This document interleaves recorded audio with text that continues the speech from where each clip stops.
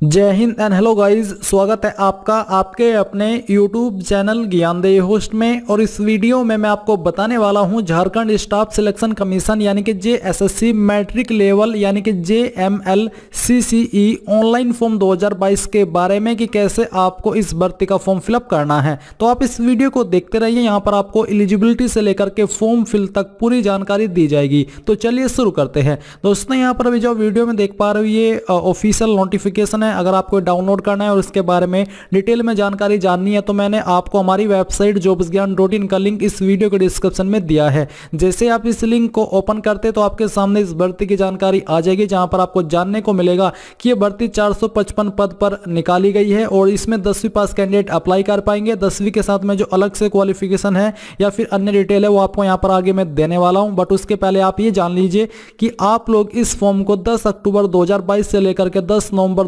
2022 तक भर पाएँगे। एंड फॉर्म के अंदर अगर कोई मिस्टेक हो जाती है तो उसके अंदर करेक्शन करने के लिए आपको 16 नवंबर 2022 से लेकर के 19 नवंबर 2022 तक का समय दिया है। बात करें आपकी पोस्ट की तो पोस्ट है आपकी पहली कीट पालक एवं समकक्ष। इसके लिए दो पद है।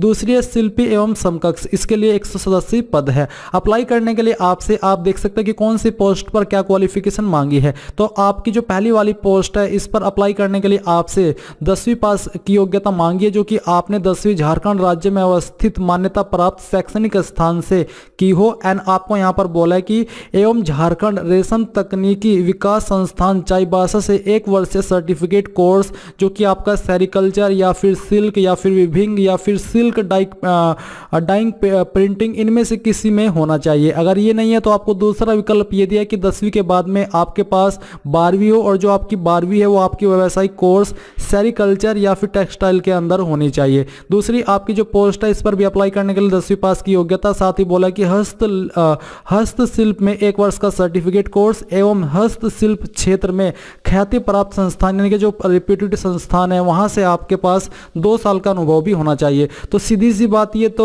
तो ये है कि इसमें सिंपल दसवीं पास से आप अप्लाई नहीं कर पाएँगे। दसवीं के साथ में ये जो अलग इन्फॉर्मेशन मैंने यहाँ पर आपको दी है, वो होनी चाहिए। सैलरी किसके लिए क्या दी जाएगी, वो आप यहाँ पर देख सकते हैं। एज लिमिट मिनिमम ये है और मैक्सिमम कैटेगरी वाइज आप यहाँ पर चेक कर सकते हैं। फ़ीस जनरल ओबीसी को सौ रुपये पे करनी है और एस को पचास रुपये जो कि आप ऑनलाइन माध्यम से कर पाएँगे। तो ये आपने जानकारी जान ली। अब अगर आप इसमें एलिजिबल है और इंटरेस्टेड है फॉर्म को अप्लाई करने के लिए तो आपको अप्लाई ऑनलाइन लिंक इसके ऊपर क्लिक करना है। इसके ऊपर क्लिक करने के बाद आपके सामने अप्लाई की ऑफिशियल वेबसाइट आ जाएगी।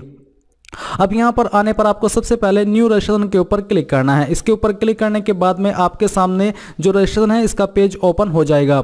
नाउ गाइज़ आपको यहाँ पर सबसे पहले पोस्ट अप्लाइड पर क्लिक करके ये सिलेक्ट करना है कि कौन सी पोस्ट पर आपको अप्लाई करना है, पहली या फिर दूसरी। तो जिस पर भी अप्लाई करना है, जिस पर भी आप एलिजिबल है, वही आप सिलेक्ट कर लीजिए। फिर आता है एप्लीकेंट नेम आपको यहाँ पर आपका नाम एग्जैक्टली टेंथ की मार्कशीट के अनुसार लिखना है। जेंडर आपका जो है वो आपको सिलेक्ट कर लेना है। क्या आप इंडियन सिटीजन है तो आपको यहाँ पर यस करना है कि आप आप भारतीय है। इसके बाद are you a local resident of Jharkhand यानी कि झारखंड के आप स्थायी निवासी वहाँ के लोकल रेसिडेंट है। अगर हाँ तो यस नहीं तो आपको नो करना है। अगर आप यहाँ पर यस करते तो आपको डिस्ट्रिक्ट ऑफ़ लोकल रेसिडेंस यानी कि आपकी कौन सी डिस्ट्रिक्ट है झारखंड की, वो आपको सिलेक्ट कर लेना है। फिर आपसे पूछे कि certificate number of your local residence of Jharkhand यानी कि जो आपका झारखंड का सर्टिफिकेट है डोमिसाइल सर्टिफिकेट आप जिसको बोलते हैं, उसका नंबर आपको यहाँ पर एंटर करना है आपके सर्टिफिकेट से। फिर आती है इश्यूइंग अथॉरिटी अथॉरिटी तो इसिंग अथॉरिटी क्या है? किसके द्वारा ये सर्टिफिकेट जारी हुआ है? डीसी एसडीओ सीओ जिसके द्वारा भी हुआ है, वही आप यहाँ पर सिलेक्ट कर लीजिए। ये आपको आपके सर्टिफिकेट के ऊपर देखने को मिल जाएगा कि किसके अथॉरिटी के द्वारा ये सर्टिफिकेट जारी हुआ है। उसी के अकॉर्डिंग आपको यहाँ पर वो सिलेक्ट करना है। फिर आता है date of issue of your local residence certificate यानी कि डोमोसाइल सर्टिफिकेट कब ये आपने इशू करा है, वो डेट आपको देनी है। अब यहाँ पर नीचे ये बोला कि four D C S D O not earlier than दो छः दो हज़ार सोलह, यानी कि अगर आपका सर्टिफिकेट डीसी या फिर एसडीओ के द्वारा जारी हुआ है तो ये आपका दो छः दो हज़ार सोलह से पहले का बना हुआ नहीं होना चाहिए। एंड अगर आपका ये सर्टिफिकेट सीओ के द्वारा जारी हुआ है तो ये फिर आपका उन्नीस सात दो से पहले का नहीं बना बना होना चाहिए। इसके बाद का ही बना होना चाहिए। तो फिर आपको यहाँ पर उसके अकॉर्डिंग अपनी जो डेट है वो सिलेक्ट कर लेनी है। तो चलिए हम इसको सिलेक्ट कर लेते हैं। अब आता है सोशल कैटेगरी डिटेल तो रिजर्वेशन कैटेगरी आपकी कौन सी है? यानी कि कास्ट कैटेगरी कौन सी है? जो भी है वो आप यहाँ पर सिलेक्ट कर लीजिए। अगर यू आर है तो यू आर एस सी है तो एस टी यू आर का मतलब यानी general S C S T तो आप जानते हो जो भी आपकी है। अगर आप, आप आपकी category S C S T है तो आप यहाँ पर सेम वे में आपका कास्ट सर्टिफिकेट नंबर देंगे। इश्यू का अथॉरिटी बताएँगे। एंड कब आपका सर्टिफिकेट इशू है वो भी आप यहाँ पर दे देंगे। अगर आप जनरल है तो आप सिंपली जनरल सेलेक्ट कर लीजिए। फिर यहाँ पर आपके सामने की matriculation from affiliated social college sorry school college institution situated within geographical area of Jharkhand state यानी कि जो आपने दसवीं की है, वो दसवीं आपकी ऐसे कॉलेज या इंस्टीट्यूट से होनी चाहिए जो कि झारखंड के जियोग्राफिकल एरिया के अंदर ही आता हो, जिस, जिन्होंने झारखंड के बाहर से दसवीं की है, वो फिर इसमें एलिजिबल नहीं होंगे अप्लाई करने के लिए। तो हमने यहाँ पर इसमें ही रहेगा। अब आता है पी डिटेल क्या आप फिजिकली हैंडीकैप यानी कि विकलांग, अगर आप विकलांग है तो आप यस करेंगे, नहीं तो आपको नो करना है। फिर अगर आप एक्स सर्विसमैन है तो आप यहाँ पर इसमें यस कर देंगे। Are you an ex serviceman जो कि आर्मी एयरफोर्स और नेवी का होना चाहिए। अगर आप नहीं है तो आप नो कर दीजिए। इसके बाद आता है डेट ऑफ़ बर्थ। तो आपको कैलेंडर के ऊपर क्लिक करना है और जो भी आपका ईयर है वो आपको यहाँ पर सेलेक्ट करना है पहले, फिर आपको यहाँ पर मंथ और उसके बाद में डे। तो आपकी डेट ऑफ़ बर्थ आ जाएगी। अब आप अपना यहाँ पर मोबाइल नंबर एंटर करेंगे। इस नंबर को दोबारा डाल करके आप वेरीफाई कर देंगे। ईमेल आईडी आप यहाँ पर अपनी फिल करेंगे। ईमेल आईडी को फिल करने के बाद दोबारा से अपनी ईमेल आईडी फिल कीजिए और उसको वेरीफाई कर दीजिए। ये सब जानकारी जो कि आपने इस सेक्शन के अंदर भरी है, इन सभी को एक बार अच्छे से चेक कर लीजिए। चेक करने के बाद आप यहाँ पर कंटिन्यू पर क्लिक करेंगे।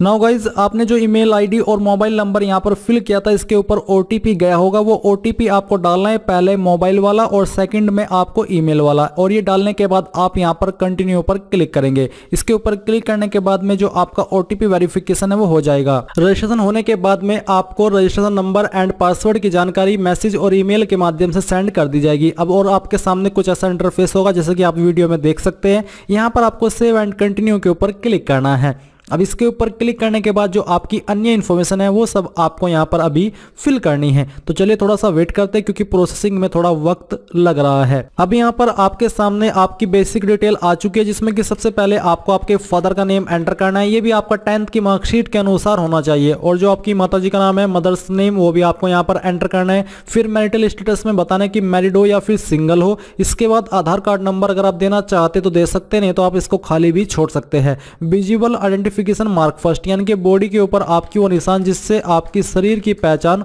हो सके। तो अगर आपकी बॉडी के ऊपर ढूँढने के बाद भी कोई मार्क नहीं है परमानेंट मार्क तो आप यहाँ पर नो मार्क भी लिख सकते हैं। और अगर आपकी बॉडी के ऊपर एक से ज़्यादा मार्क है तो आप यहाँ पर दूसरा मार्क भी लिख दीजिए, नहीं तो फिर इसको आप खाली छोड़ दीजिए। इसके बाद do you claim reservation under sports quota यानी कि स्पोर्ट्स कोटा के तहत जो रिजर्वेशन मिलता है कि आप उसके लिए क्लेम करते हैं कि आप इसके अंतर्गत आते हैं? तो पहले आपको नोटिफिकेशन पढ़ना है स्पोर्ट्स कोटा की एलिजिबिलिटी देखनी है। उसी के अकॉर्डिंग आपको यहाँ पर यस नो करना है। फिर आता है do you have knowledge of local custom language and surrounding of Jharkhand state यानी कि जो झारखंड की लोकल लैंग्वेज है और इसके आसपास की जो है, वो आपको क्या आती है? अगर हाँ तो आपको यस करना है, नहीं तो आप नो करेंगे। अगर आप यहाँ पर यस करते तो फिर इसके बाद में आपको सिलेक्ट पेपर टू लैंग्वेज यानी कि पेपर टू की लैंग्वेज आप कौन सी रखना चाहते हैं इनमें से? तो जो भी आप रखना चाहते हैं, वही आप सिलेक्ट कर लीजिए। तो चलिए हम इसको सिलेक्ट कर लेते हैं। फिर आते हैं कोरस्पोंडेंस एड्रेस यानी कि प्रजेंट एड्रेस तो जो भी आपका प्रजेंट एड्रेस है, वो आप यहाँ पर फिल करेंगे, आपकी जो सिटी है डिस्ट्रिक्ट है, वो आप यहाँ पर एंटर कर देंगे। इसको एंटर करने के बाद आप यहाँ पर आपकी स्टेट सेलेक्ट कर लेंगे और फिर यहाँ से जो आपका पिन कोड है, वो आप डाल देंगे। इसको डालने के बाद नीचे आता है परमानेंट एड्रेस और साथ ही सेम एज कोरस्पोंडेंस एड्रेस यानी कि प्रजेंट एड्रेस तो अगर आपका कोरस्पोंडेंस यानी कि प्रजेंट और परमानेंट एड्रेस सेम है, एक जैसा है तो आप यहाँ पर टिक कर दीजिए। अगर अलग अलग है तो इसको अनटिक करके अलग से अपना परमानेंट एड्रेस फिल कर दीजिएगा। एंड देन आप यहाँ पर सेव एंड कंटिन्यू के ऊपर क्लिक करेंगे। अब गाइज़ आपके सामने एजुकेशन डिटेल आ चुकी है तो सबसे पहले आप यहाँ पर टेंथ की जानकारी देंगे। टेंथ की जानकारी में आपको इंस्टीट्यूट में आपके स्कूल कॉलेज का नाम देना है, जहाँ से आपने आपकी दसवीं की है। ये देने के बाद में आप यहाँ पर जो सामने है सब्जेक्ट का ऑप्शन तो सब्जेक्ट में आपको ऑल सब्जेक्ट लिख देना है टेंथ वाले सेक्शन में। फिर आता है ईयर पासिंग किस साल के अंदर आपने पास कर ली थी, वो साल आपको यहाँ पर सिलेक्ट कर लेना है। आपकी परसेंटेज कितनी थी, वो आपको यहाँ पर लिख देनी है। अगर आपके नंबर सी के अंदर है तो आपको उनको परसेंटेज के अंदर कन्वर्ट करके यहाँ पर लिखना होगा। फिर आता है सर्टिफिकेशन कोर्स तो जो भी आपका सर्टिफिकेट है जो कि मैंने आपको पहले एलिजिबिलिटी की जानकारी बताई थी उस सर्टिफिकेट का नाम आपको यहाँ पर लिखना है। एंड देन आप यहाँ पर इंस्टीट्यूट सेलेक्ट करेंगे जो कि बेसिकली इससे आपका सर्टिफिकेट होना चाहिए।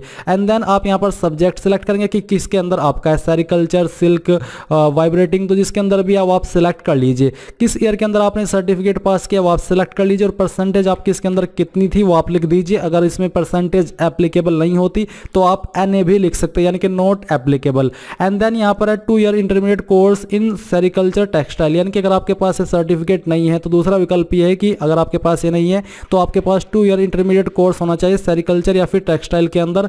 तो अगर आप इसके माध्यम से अप्लाई करें, आप सेकेंड वाला खाली छोड़ेंगे और इसमें यहाँ पर इंस्टीट्यूट का नाम देंगे, जहाँ से आपने ये सर्टिफिकेट प्राप्त किया है और यानी कि ये कोर्स किया है और यहाँ पर सब्जेक्ट देंगे कि सेरिकल्चर है या फिर टेक्सटाइल है. इसके अलावा आप ईयर ऑफ़ पासिंग देंगे एंड यहाँ पर आपकी परसेंटेज भर देंगे. फिर आप सेव एंड कंटिन्यू के ऊपर क्लिक करेंगे। अब आपके सामने फ़ोटो एंड सिग्नेचर का सेक्शन आ चुका है तो आपको यहाँ पर फ़ोटो अपलोड करना है। फ़ोटो का फॉर्मेट आपका जेपीजी का रहना चाहिए और साइज़ दो से के बी से ज़्यादा न हो। तो आपको चूज़ फ़ाइल के ऊपर क्लिक करना है और जहाँ पर भी आपका फ़ोटो है, वो आपको सिलेक्ट करना है। मैं आपको एक रैंडम इमेज यहाँ पर अपलोड करके दिखाता हूँ। मैं इस इमेज को सिलेक्ट करता हूँ, यहाँ से ओपन करता हूँ। ओपन करने के बाद आपको अपलोड के ऊपर क्लिक करना है। बट उसके पहले देख लीजिए कि यहाँ पर फिक्सल के अंदर भी प्रॉब्लम होने वाली है। यानी कि आपका साइज़ तो मैंने आपको बताई दिया है बट आपके जो फ़ोटो का साइज़ है फिक्सल है, वो आपका 100 इंटू हंड्रेड एंड 150 सौ पचास इंटू एक यानी कि 100 से 150 के बीच में रहना चाहिए। तो उसके अकॉर्डिंग आपको इमेज को बनाना है। अगर आप इसमें इमेज को बनाने में पिक्स आर्ट ऐप का इस्तेमाल कर सकते हैं। और उसके अकॉर्डिंग आप यहाँ पर आपका जो इमेज है, वो सिलेक्ट करेंगे और फिर यहाँ से इसको ओपन कर लेंगे। तो गाइज़ जैसे ही आप लोग दिए गए साइज़ के अंदर और फिक्सल के अंदर फ़ोटो को अपलोड करेंगे तो फ़ोटो अपलोड हो जाएगा। मैं आपको फिर से याद दिला दूँ कि आपके फ़ोटो का जो डायमेंशन है, वो आपका 100 से 150 पिक्सल के अंदर रहना चाहिए और सिग्नेचर का डायमेंशन आपका 50 से 150 पिक्सल के अंदर रहना चाहिए। तो आपका फ़ोटो और साइन यहाँ पर अपलोड हो जाएँगे, कोई प्रॉब्लम नहीं होगी। अब आप यहाँ पर डिक्लेरेशन के ऊपर टिक करेंगे एंड प्रीव्यू एंड सबमिट इसके ऊपर क्लिक करेंगे। अब आपके सामने आपने जितनी भी जानकारी अभी तक इस फॉर्म के अंदर भरी है, उन सभी जानकारी का प्रीव्यू आ जाएगा। यानी कि यहाँ पर आप लोग अपनी सभी जानकारी को वेरीफाई कर सकते हैं और अगर आपको लगता है कि कहीं पर कोई जानकारी गलत हो गई है तो आप उस जानकारी को यहाँ पर एडिट कर पाएँगे। इसलिए मेरा आपसे यही सजेशन है कि आप जानकारी को एक एक करके अच्छे से रीड करें। अगर आपको लगता है कि कहीं पर कोई जानकारी गलत है तो आप उसको अभी भी एडिट कर सकते हैं। यहाँ पर आपकी एप्लीकेशन आईडी दी गई है। इस तरफ़ आपका फ़ोटो होगा, जो कि अभी यहाँ पर किसी टेक्निकल रीजन की वजह से नहीं शो हो रहा है।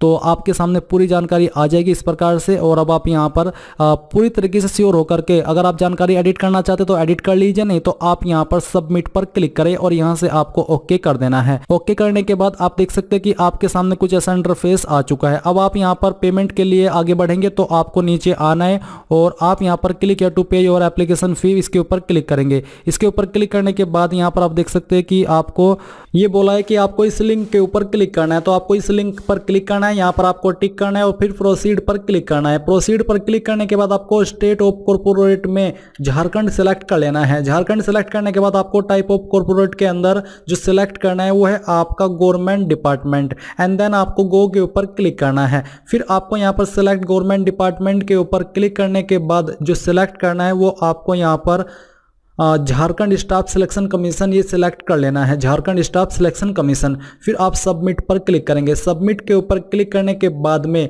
यहाँ पर जो आपको सिलेक्ट करना है वो है आपका जे एम एल सी सी ई। ये आपको सिलेक्ट कर लेना है। फिर आपको आपका एप्लीकेशन नंबर एंटर करना है जो कि अभी आपको मिला है एंड देन आप सबमिट पर क्लिक करेंगे। अब यहाँ पर आपके सामने जानकारी को फिल करने का सेक्शन आ जाएगा। यहाँ पर आपको अपनी कुछ जानकारी देनी है और बैंक डिटेल देनी है। अभी इस वेबसाइट के अंदर कुछ प्रॉब्लम है तो आपकी प्रॉब्लम जल्दी खत्म हो जाएगी। इसके बाद आप लोग यहाँ पर अपनी एप्लीकेशन फ़ीस जमा कर पाएँगे एंड देन आप अपने फॉर्म का फाइनल प्रिंट आउट ले पाएँगे।